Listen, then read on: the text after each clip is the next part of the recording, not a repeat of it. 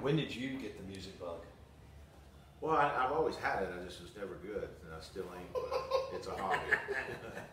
it's a hobby. Uh, but Darius Rucker told me in '94. You know, he said, "Look, we're sending you guitars, and all these people sending you guitars. You're sending us golf clubs. You're doing this. You need to get a guitar and learn how to play a little bit." So I'll never forget. We were in uh, doing uh, Ted Grassy, the old Ted Grassy up in uh, New York, Larry said, "Hey, let's go find a, he's just somewhat of a guitar, and, and you need to learn how to play. I'll teach you how to play." And Larry helped me a lot, and uh, we go in the store and I buy a, I think it was 19 out of 21 Strat Fender. That's I bought it for nine grand or something, you know. and uh, so I learned on that, and uh, I can't remember who I signed that to. I might have signed that. To, I signed it to uh, somebody that just loved it. I bought the. Then I got two more combos of it, but you know I got Ed's been in my house. I got I don't know 70, 65, 70 guitars that people have given me, and uh, I've never really been able to sit down and just really get into it. But I know enough chords to write. And, uh, but uh, so Darius Rucker and Larry Rinker were probably the two guys who really got me into it to start, you know, learning how to play some chords. Right. And then all of a sudden, you start to play a little bit in front. I mean, you played golf your whole life in front of people, but sure picking up a musical instrument and whether it's playing in front of five or five hundreds a, a little, was a little bit different deal. Well, hitting a golf ball in front of 20, 50, 60,000 people is nothing for me. Right. When you're playing in front of 50, 25, 50,000 people, Darius was hooting the blowfish, trying to play, you know, songs that I really don't know. um, and playing some rhythm, and then, you know, uh, Knocking on Heaven's Door has been my kind of signature song. I kind of wrote the third verse to it. Love it. Bob Dylan sent me a guitar and some lyrics with a picture. How'd that happen? I did. Uh, a buddy of mine, Tony, out of uh, California, knew some of his people, and and uh, Bob listened to it. He said that's pretty cool because he's a golfer, and uh, he says I wish I'd come up with that one. But he says he never played the tour, so it kind of relates back to the PGA Tour. Yeah. That's, that's super cool. And you may play tonight at Two Brothers. Um, I know two songs. That's about it. Two great songs at that. Visiting with John Daly and Major Ed on the Out of Bounds podcast. Hanging out here is we're here for the Grip It, Rip It, and Sip It Two Brothers Smoke Meat Charity Golf Tournament for Folds of Honor. And JD's going to play with uh, four people who bid on it um, in the front nine, and donations go into Folds of Honor. And then four more people on the back nine. And again, all proceeds uh, today and tonight go to go to Folds of Honor, which is which is super cool. We we our charity event last year, we uh, Folds of Honor was our charity of choice. Yeah, that's right. Uh, that- we did a real a cool cornhole tournament, sold it out, and uh, it was a lot of fun. So we raised raised a little money for Folds of Honor last year. Um, all right, so so the, you, you- always had the music bug, but you start playing in '94. You hook up with Hootie and the Blowfish and meet all these musicians and find out probably how many of them play golf. Does does Darius Rucker? Oh yeah. Okay. The whole week, me and my old caddy Wedge took him out to uh, what's that course called? It's just it had just opened down in Hickory, Mississippi. Um, Oh, Fallen Oak. Fallen Oak is beautiful. Yeah, not Fallen Oak, not Oh. not where we play the senior event. Uh, it's about 25 miles out of uh, Memphis. Okay.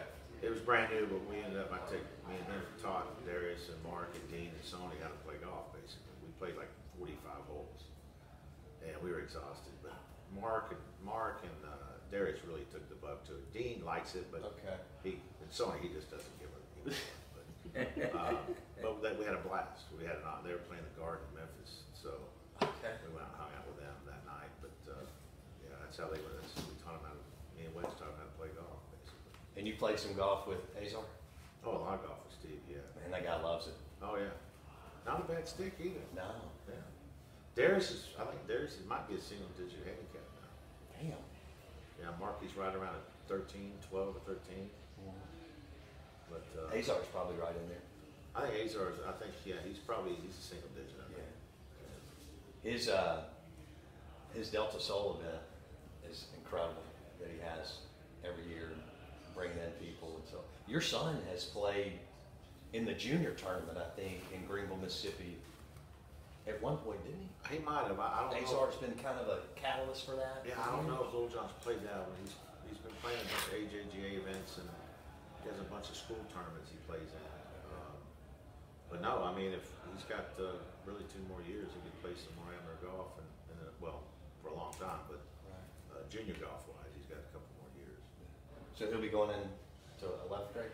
Senior, Senior. yeah, he turned seventeen July twenty-third. Okay. I saw him out here putting it around a little bit. Oh, He's yeah. getting ready. Yeah, we didn't want, I don't want Major Ed getting hurt today, so Major Ed brought in the ringer, my son. Yeah, we're- he's actually been playing good. Like last week, we called him, and John, uh, you know, he, where was he at? He was somewhere up He's in Indiana. Indiana, and he, he what he was uh, what, in the leaderboard. Yeah, he had six top. three putts on the last day and finished second. And pretty Yeah. much every, Wow. it was a Pete Dye, he played a crooked stick around on the PGA. And it seemed like. Now every- that's cool. Yeah, Seemed like every kid had a college back with him, you know, so, and the way Pete and his wife did it, it was thirty-three and 33, 33 boys, thirty-three girls, because that's how many cars in the Indy five hundred. Okay. So that's how they did it, yeah. He played, played really good. Didn't putt too good the last day. So has he decided on a school? He got a lot of offers. You know, he's got three or four he really wants to go to. Um, but uh, Arkansas is top right now. Big Suey. Razorback. Oh, yeah. That would be incredible. Is that because Jerry Jones, you're a Cowboys fan, right? Oh yeah, but no, I'm, I'm a diehard Hog fan. But I, look, I told him, I, wherever you want to go, son, wherever you get the best deal, the best scholarship, I mean, go. I mean, I'm not, Sure. I'm not forcing him on anything, but he, he grew up loving the Hogs, so that's, I know that's his first priority. But, uh, What are what are two or three others that he really likes? He's been looking at North Carolina, West Virginia, um, Florida State. Nice. that. Can't go wrong with any of No. those.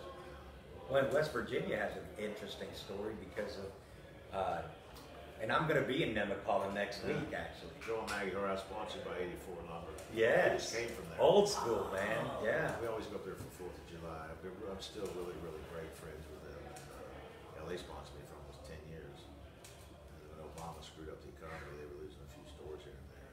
Gotcha. They just got, got rid of all the sponsors. Great company.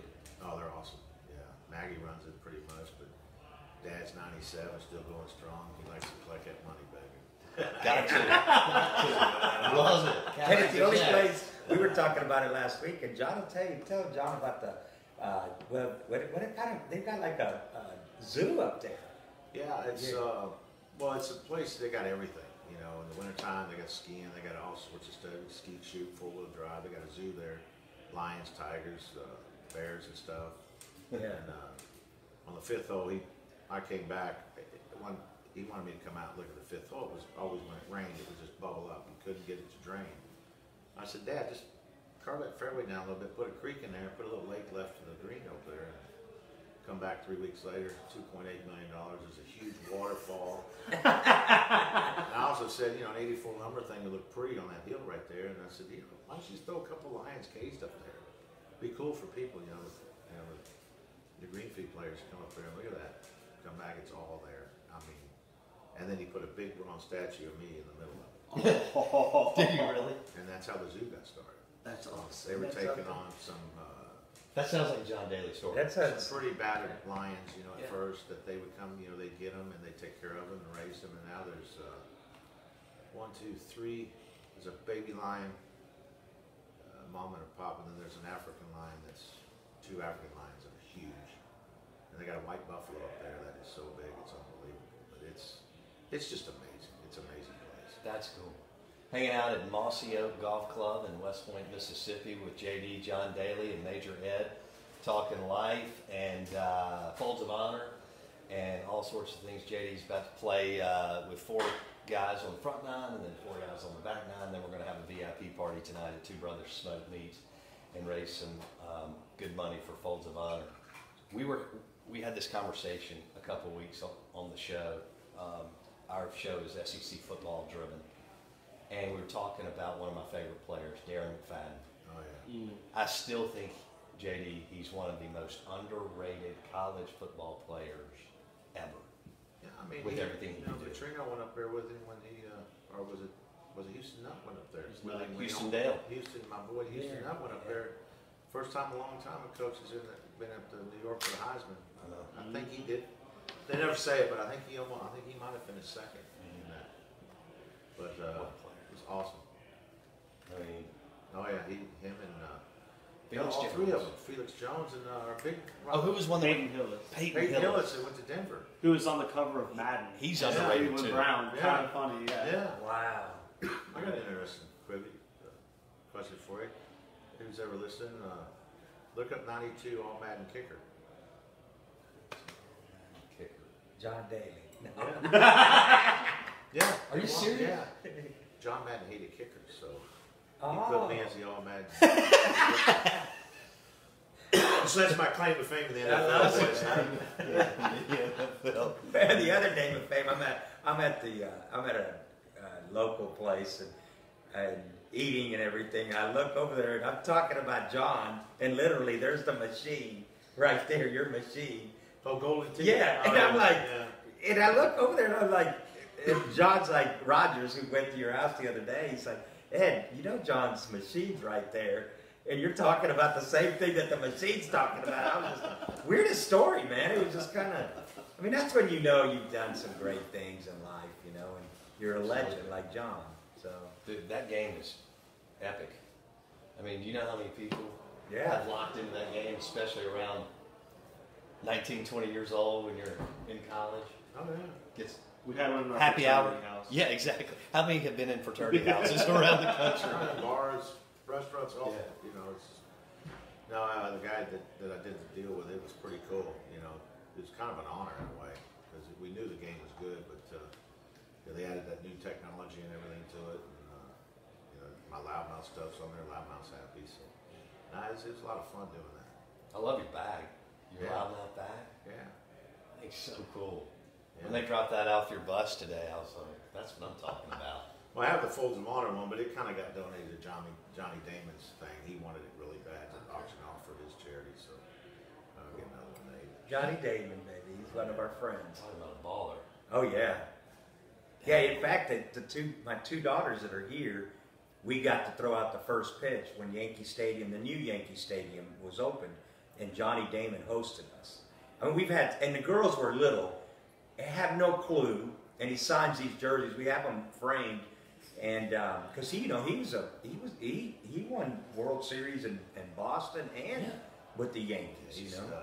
And was Yeah. really good with the A's, too. Yes. Yeah. Yeah. That guy could go. yeah. And we know some really cool people. John knows a lot more people. I don't know, Major. You're the man.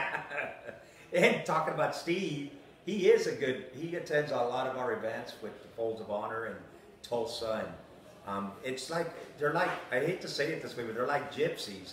It's him, McMahon, Tricky, Oh yeah. A's. They all like go from event to event all over the Oh, yeah. country, like John does. Yeah. And yeah, Vince McMahon. yeah, I mean, not Vince McMahon. Jimmy. Jimmy McMahon. Jimmy. I was at that Super Bowl in New Orleans in '86 or '7 when they Yeah. won it, and um, to be able to interview him at Azar's charity event years later, I guess I got to interview him a couple years later, was just so cool.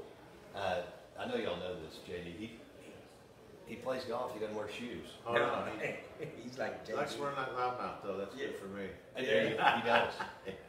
And tr- little trivia for all your listeners out there, you know he won two Super Bowls.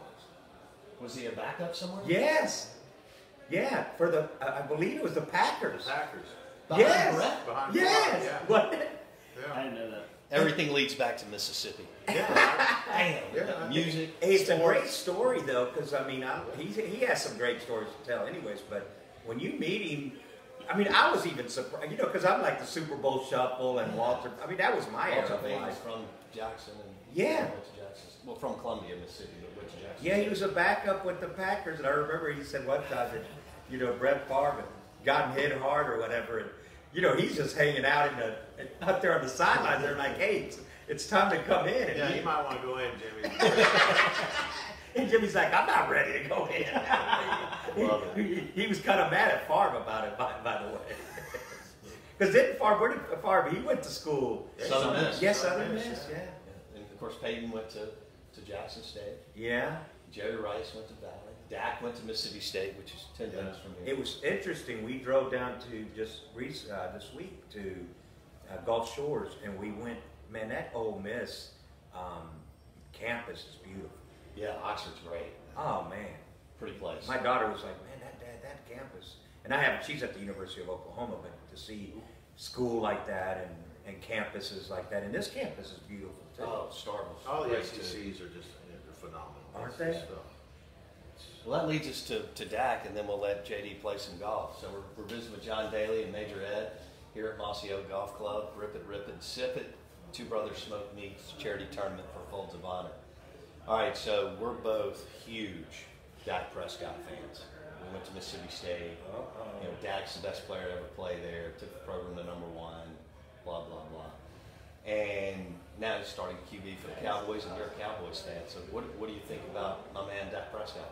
I love him. I mean, I love him. I love every. You know, you're a cowboy. It's like a Razorback. You're you're in our hearts forever. And uh, I know that's what's you know, kind of weird what's going on about getting him getting paid and all that. But uh, you know, Dallas for a long time has had a great offensive line. Now we got Zeke and uh, Witten. I guess did Witten just go to the Raiders? He did. He did. So Gruden got him. But uh, you know, we, we, we can fill those shoes, get another tight end. We got great receivers.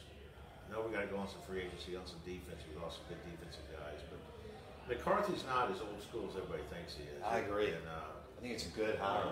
I think he'll he'll get that defense back. You know, get get our get, our, get some of our players back. Lee can stay. Man, if he could ever stay healthy, Uh, man, that guy's a you know, and, and we got a we got a great bunch of guys in there. But and Bender, that, that young dude, Oh. if, if he comes back from the neck deal, that guy Yeah. was unbelievable. linebackers are solid if they're healthy, but uh, no matter what happens, I'm always a Cowboy fan. Always will be. I love them, and uh, I just want them to, to play good and win. That's that's all we ever want from the Cowboys, just like the Razorbacks. Well, Dallas got him a good one. Dak Prescott is a tremendous young man. Got all the intangibles. Super leader. Blake, you got something? I, I gotta ask, since we went to Arkansas too, Sure. thoughts on Sam Pittman? Oh, the new head coach. Yeah, well, I mean, he's right in the middle, man. He's he's you know he's an offensive line coach is what we needed. I mean, we went from extreme with Bielema, big, control the ball, which wasn't a bad idea. And in the SEC, unfortunately, you got to be faster, and quicker.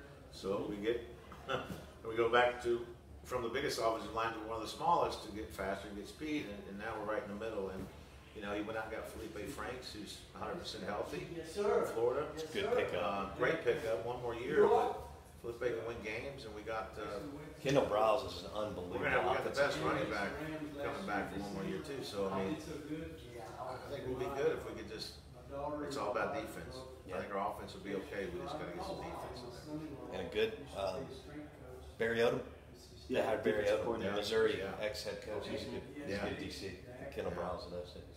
All right, JD. Um, appreciate it. Major Ed, you guys, thanks for coming to Mossy Oak Golf Club in West Point and Starkville and um, raising some awesome money for Folds of Honor, which is Well, uh, what people don't know about Folds of Honor, what we do is Major Ed is, uh, is, you know, probably one of my greatest friends, but he's a hero in my life because he served our country. And we always say freedom ain't free. And uh, Purple Heart recipient, but what we do is we give money to the fallen, the wounded, and uh, scholarships for the kids. It's five thousand scholarship, and from what I understand, we, we helped raise over what twenty-two million last year. And he's been a great wingman. And and the Terry here and everybody that's put this event together and I, I mean I had a good time at that two brothers. Shoot, I had maybe a little too much to drink. My wife and it's funny because our girls are like they're so funny because they say to me they're like, "Hey, Dad, um, we haven't really seen Mom drink like that in a while, and she she had too much to drink." I'm like, "I think we both had, but that's okay. We're adults." that's right. That's right. And, I, and you know, one 19 and 14, and uh, John's right. They're both scholarship recipients, and I got one at the University of Oklahoma, and my little one um, is a cheer champion, and we've got her at. Uh, we're going to put her in a Christian school this year to kind of make sure that you know what she stays focused on what's important. And, and to little JD, you know, man, for him to get ready to go to school, that's a very important deal, and that's what makes us as parents proud. Yeah. And I think Memphis was our first university that gave up uh, the Yeah. full ride, a full Yeah, scholarship. Memphis, that's right. The full Really? summer, yeah. Yeah. I'd like to get some SEC schools involved. So I know your presence out there, chancellors, you know, hey, give give it give it up for some some folds of honor recipients, please. Yeah. And uh, you know, it's worth it'll be worth it. What a great organization. It is a great organization, Folds. and a great cause, and a great wingman, John Davis. Look, foldsofhonor.org. All right, well, I'm going to let you guys go out and have a big time.